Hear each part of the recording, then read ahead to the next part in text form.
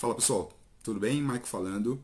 E hoje eu vou mostrar para vocês essa lâmpada de LED solar. Ela tem uma placa solar aqui onde a luz do sol carrega, é, carrega uma bateria interna que ela tem e liga no ambiente noturno ou escuro essas 100 LEDs que ela tem. Ela tem uma, uma fotocélula e também um sensor de presença, onde esses três modos operantes, tá? Ela aciona e liga os LEDs. Eu vou mostrar num box daqui a pouco, tá? detalhadamente como ela funciona. É, lembrando que nós temos ela em nosso site, vou deixar o link aqui na descrição, tá? caso vocês queiram. Nós enviamos para todo o Brasil, temos a pronta entrega. Então, vamos lá para o detalhe e mostrar como ela funciona passo a passo. Então vamos lá, estou aqui com a caixa da lâmpada de LED, tá? lâmpada solar. Eu vou abrir ela aqui para vocês. Então vou deixar a caixa aqui do lado. A primeiro momento aqui ela vem com a bucha, o parafuso, tá? Para você fixar. É, ela é fixada aqui, ó. Tá vendo? Nesses dois furos aqui, tá? Ou você também, se não tiver muito, não molhar tanto num, num ambiente que você vai colocar, não chover bastante, é, você também pode fixar com fita dupla face, tá? Você pode colocar a fita dupla face aqui e colar ela, caso vocês não queiram furar a parede, tá? Mas recomendamos que seja feita a fixação, porque se chover bastante, se molhar bastante, às vezes a dupla face não segura tanto, mas pode ser feito também dessa forma, perfeito?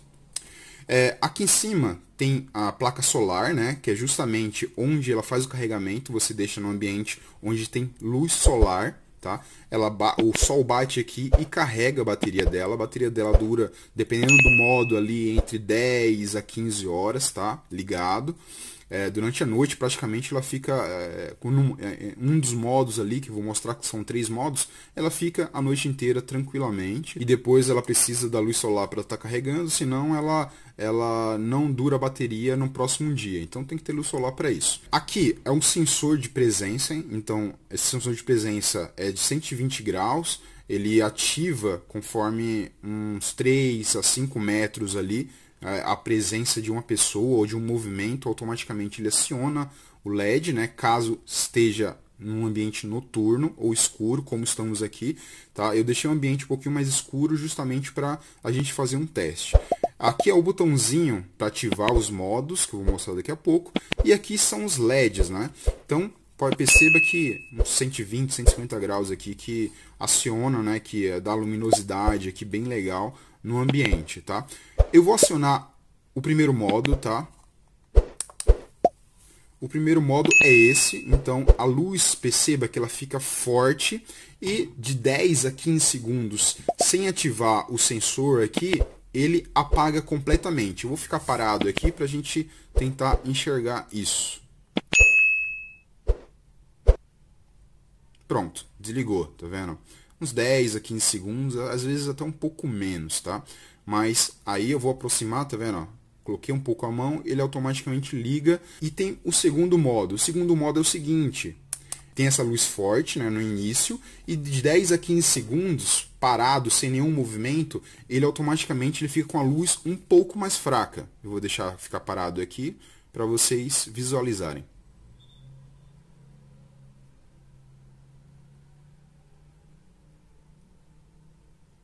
Pronto. Ele ficou, tá vendo? Ó? Ele fica assim no modo até ter um movimento, tá? Ele fica assim nesse modo um pouquinho mais light, tá vendo? Fiz um movimento, ele automaticamente ele liga um modo mais forte e ilumina o ambiente. E tem um terceiro modo que ele fica assim, 100% do tempo, enquanto estiver no ambiente noturno, ele fica ligado no modo mais brando, né? Que ele não, não ilumina tanto, né? É, neste modo aqui, mas ilumina. É, esse que é o, é, o, é o padrão. E clicando mais uma vez, ele desliga. Então ele fica com o modo desligado, tá?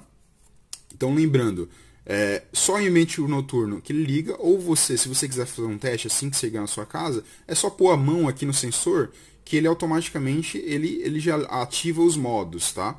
Porque ele tem uma fotocélula aqui e detecta que está com ambiente noturno. Lembrando também que ele é prova d'água, você pode deixar na chuva, pode deixar em um ambiente externo que não há problema algum, que ele não estraga de forma alguma, perfeito? E aí, gostaram do vídeo?